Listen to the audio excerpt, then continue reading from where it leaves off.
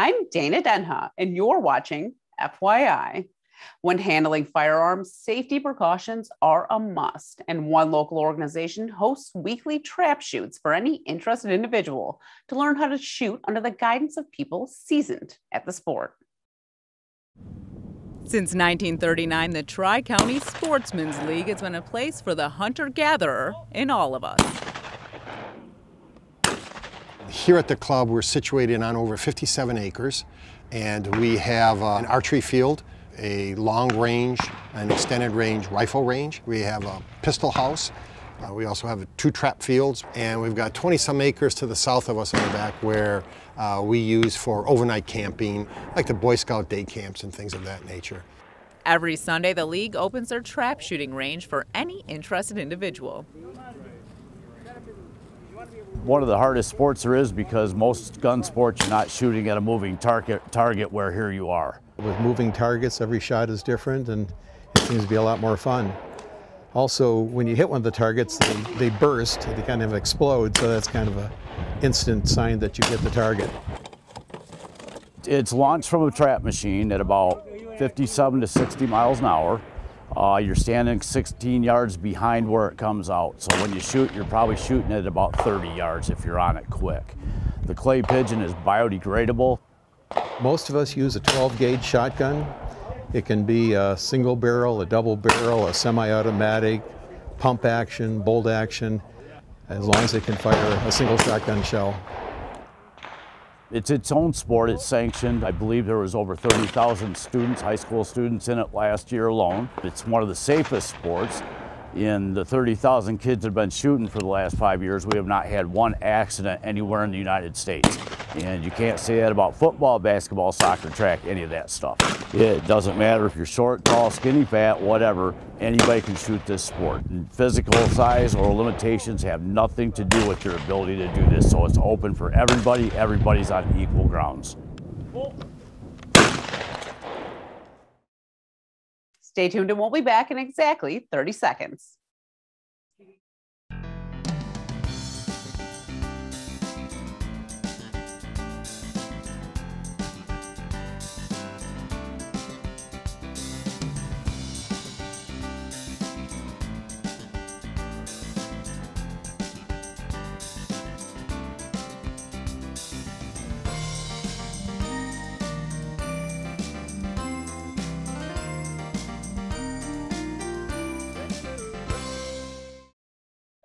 It's camp season and there are so many to choose from. But one company is bringing the stage to life as students learn singing, dancing, and acting the triple threat.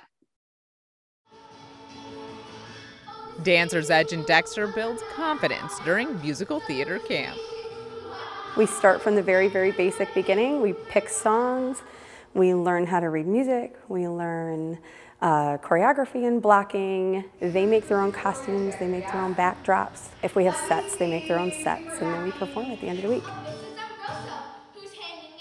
Standing up in front of on a stage is hard, especially in front of an audience. And they're so young, and starting them that young is so good for confidence because as they grow, they won't be nervous to go and talk to people or talk in front of a big group or anything like that. The students performed Seussical the Musical at the end of this five-day camp.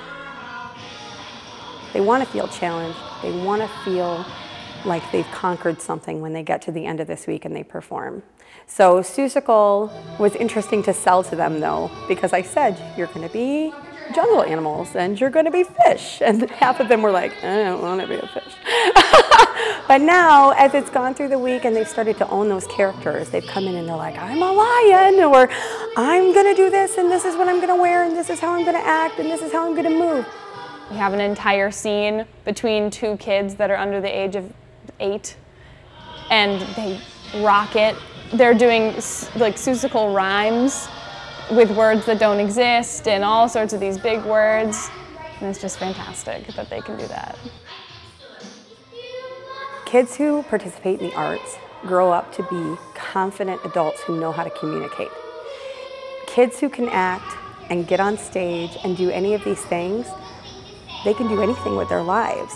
If you find someone who wants to be a CEO and they had an acting background, They can hold eye contact, they can convey a thought, they can persuade people with how they're acting, and all of that comes from all of these skills they learn as children.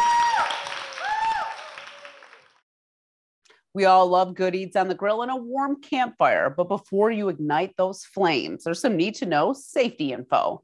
Learn more in this month's City Roundup in 60.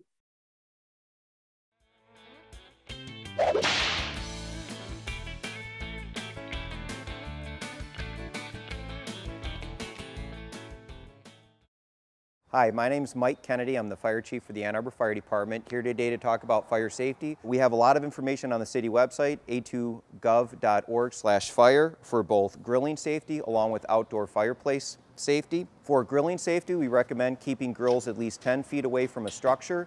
If you have hot coals, never throw them into the trash. That can cause a fire. And for outdoor fire safety, you can't have campfires in the city of Ann Arbor. They have to be 25 feet from a structure. You are also allowed to have portable fireplaces. Those have to be 15 feet from a structure. Need to make sure that they're tended at all times and they're completely extinguished before you leave. There's some additional guidance and requirements uh, that are available on the city website. Please go there, check it out. If you have any other questions, please let us know. We're happy to answer. Downtown Ann Arbor just got a little more whimsy with the opening of Rocket Fizz, a retro candy and soda pop shop. Rocket Fizz boasts over 1,500 varieties of candy to satisfy any sweet tooth, even the most adventurous of eaters, while also pouring over 500 kinds of soda pop. Joining me is owner of Rocket Fizz, Tom Holmer.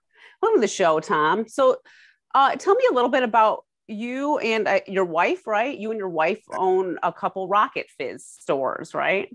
Do correct, correct. So Rocket Fizz is a franchise, which kind of surprises people because it really doesn't present itself like a franchise concept.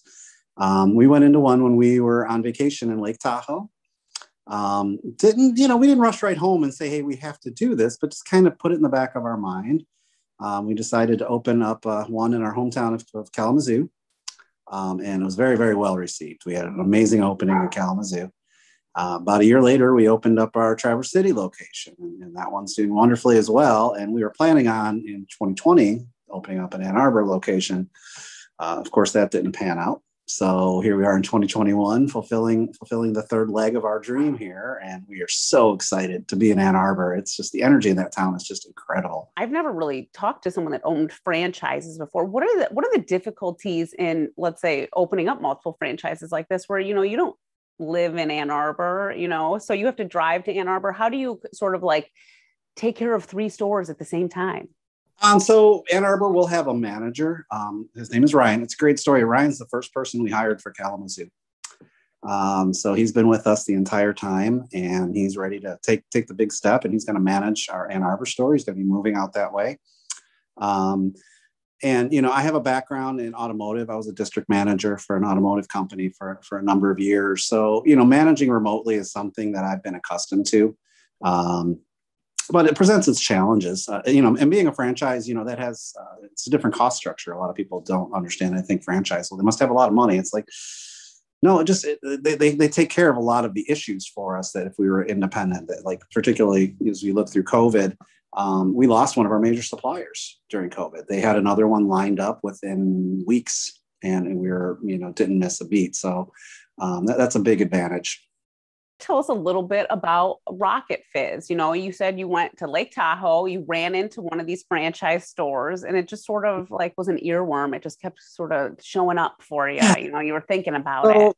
I think most people will call it a candy store. Um, you know, obviously, here I am. Um, not fully in focus. There we go. There you go. Um, so most people kind of refer to it as a candy store, which which in fact it is. Um, but I think it does it a disservice to call it just a candy store. Um, so we have roughly about 1,500 varieties of packaged candies uh, that we sell. That'll be anything from the common stuff that people expect a candy store to have. You got to have Skittles and Snickers and Kit Kats.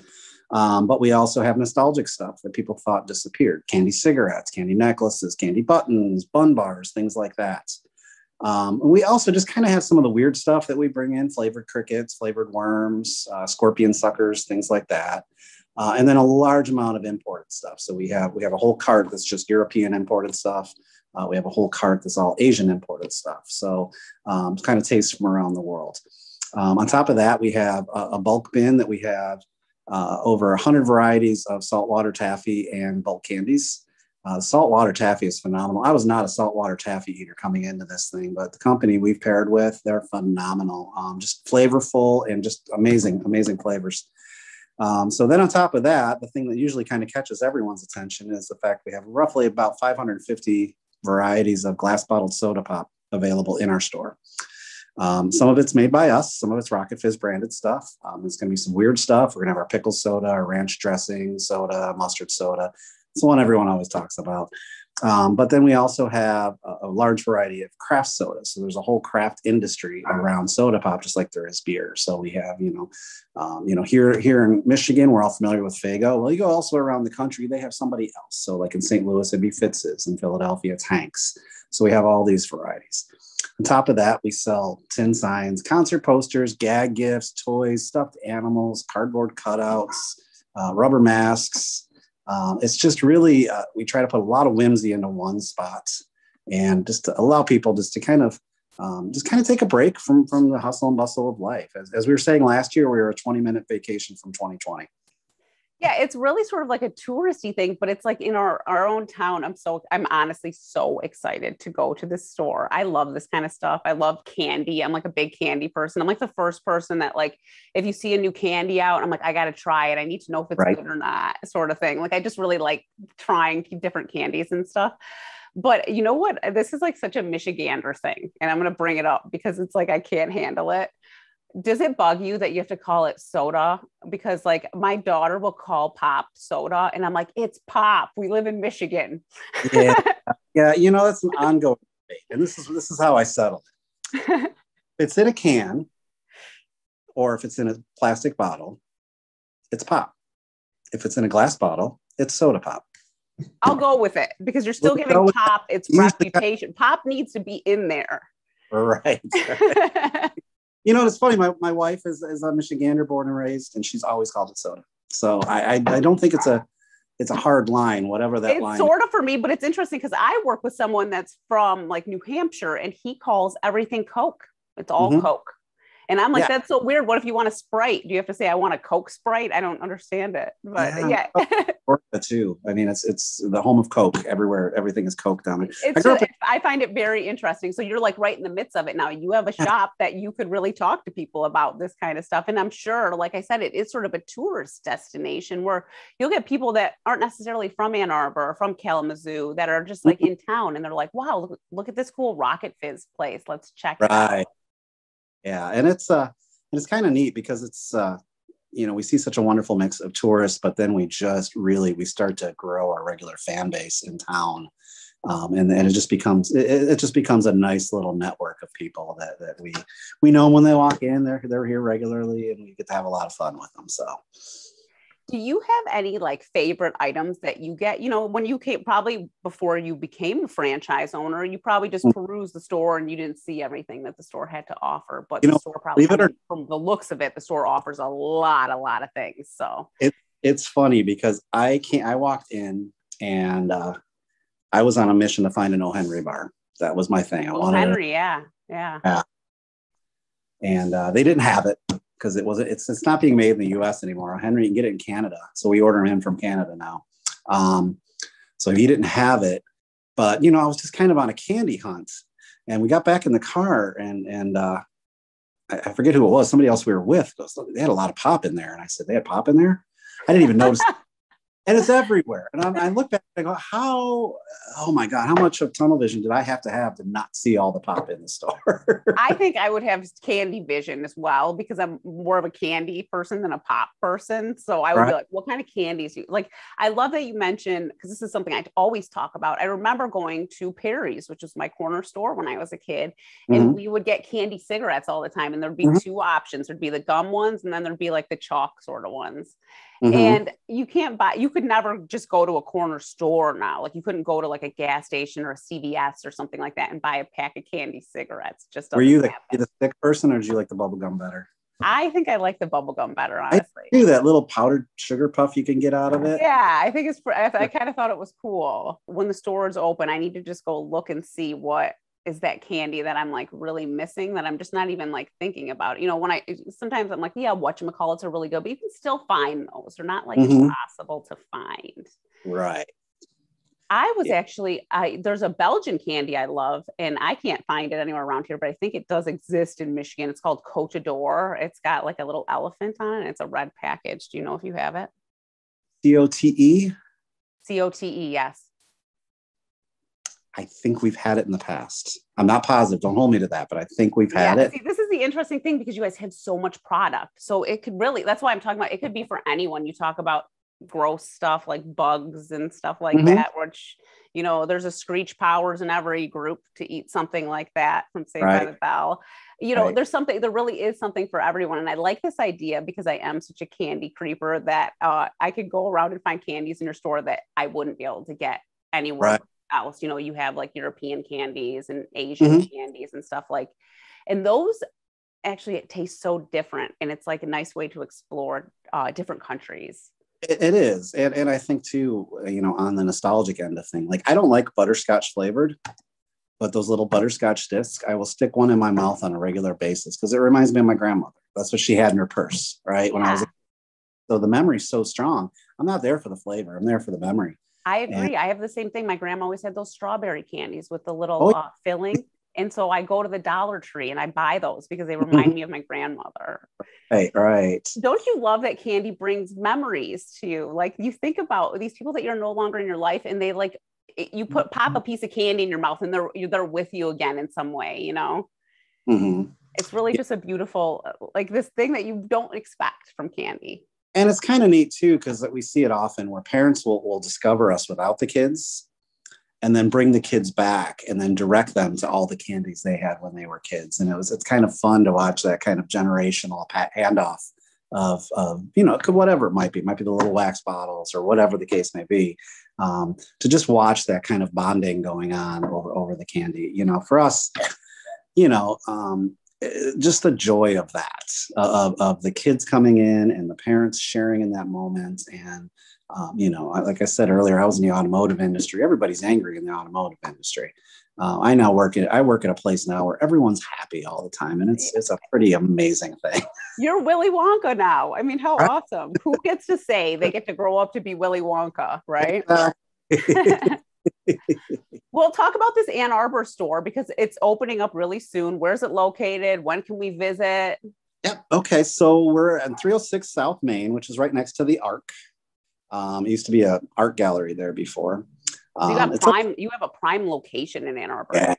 yeah. Well, I'll tell you when we when I first came to Ann Arbor to kind of you know kind of ascertain whether or not um, it was a viable place for us to put one. I literally parked across the street from the location.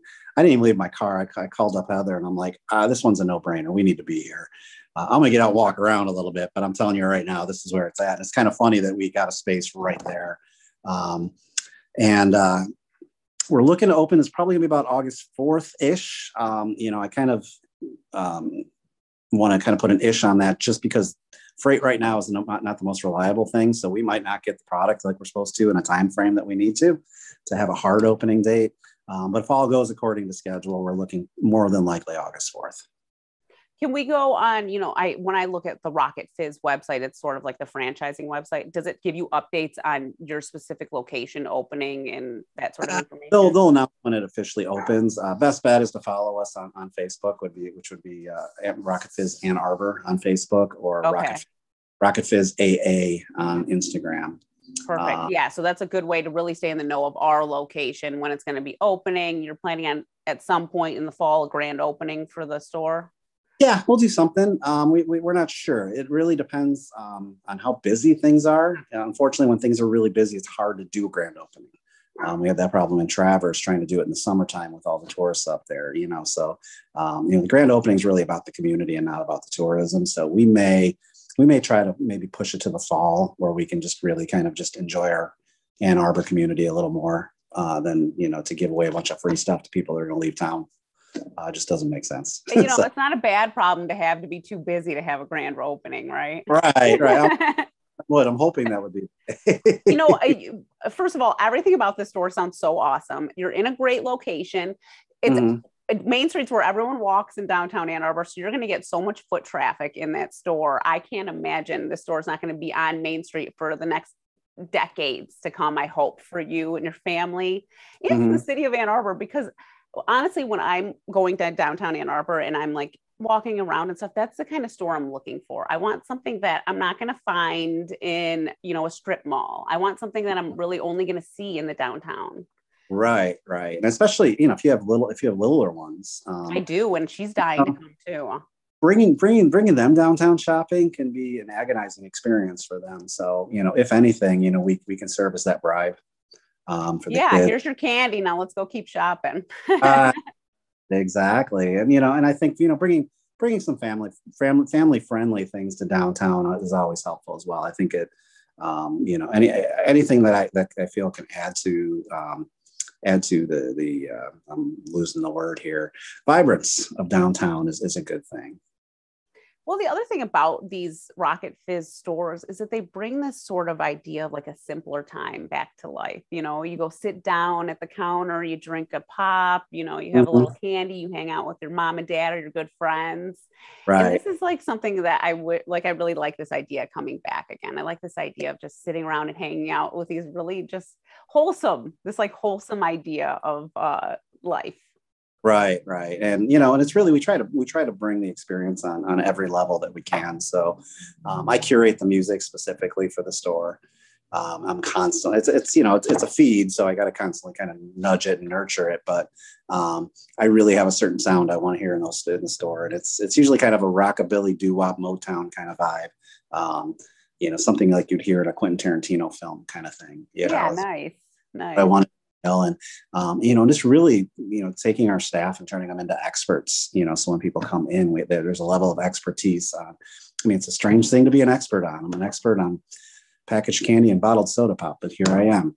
Um, really it, i think the fun fun for me is when somebody comes back and they're like hey last time i was here you recommended x. What can you recommend today? You know to me that's the greatest honor. You could pay me. That means that I, I, gave you a good suggestion. You came back looking for me to, to do it again. So um, that's that's a lot of fun. But yeah, having having a good team that's really engages the people that's such a big part of what we do. We're we're an experience, you know. So our team. You guys to, try to try all of your, you know, like you have like that weird stuff, like if you ranch dressing pop and stuff. Do you try that stuff? Yeah, we do. So like I'm I'm about 400 plus soda varieties in at this point. Um, but it doesn't mean I'm drinking a whole bottle. It's it's typically Oh no, I mean not every flavor's for everyone, right? No, and, and, and typically, you know, when we're together in a group and somebody buys a, buys a pop, we'll have little plastic shot glasses and we'll kind of have you tried this one yet? Nope. Okay, now you can try it. And so we all get to try it that way. Same thing when we open a candy. Um, so we want to we want to really encourage people to try as many as they can so that when customers come in um, you know, I'm I'm like the resident root beer expert in, in the Kalamazoo store, so I have to, I, you know, I usually field those, and then you know, my wife is the ginger ale because I'm I'm just not big on ginger ale; it's not my thing. Yeah, so, you got your own taste buds. Yeah, yeah. for sure. So, um, you know, it's kind of fun. The team kind of segregates in those little areas and kind of because they, they become kind of the masters of that domain.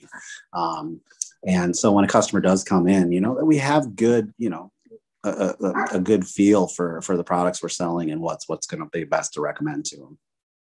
Well, before we go, when the Ann Arbor store's doors open and you're taking customers, why should people head out and check it out? Locals, tourists, anyone? Why should they come check out Rocket Fizz in downtown Ann Arbor? I, I think the nostalgia is just is just a big pull for a lot of people. I, I think uh, you know we've had a, we've had a rough year and a half, you know, as a society, and I think uh, people people want that little taste of of of their of their childhood of their past just to kind of you know just that little little dabble in it. Um and and, I, and honestly it's just a, it's just a fun way to kill 20 minutes really. You know you kill 20 come in for 15 20 minutes maybe pick up a few things you know sing sing along to the music. You might catch some of the team dancing. I don't know if i've got dancers on this team or not. I know my other teams i've got a lot of dancers randomly um, but you know, it's just it's a fun place. It's and, and really that's that's what we want to do. We want to we want to create a fun environment for people to come and just enjoy themselves. All right. Well, thank you so much for taking the time, Tom. Absolutely. Thank you for having me. For more on this and other programs, visit a2gov.org slash CTN. Visit youtube.com slash CTN Ann Arbor. See all that we have to offer. And remember to like, subscribe, and ring that notification. Thanks for watching and tune in next time to FYI.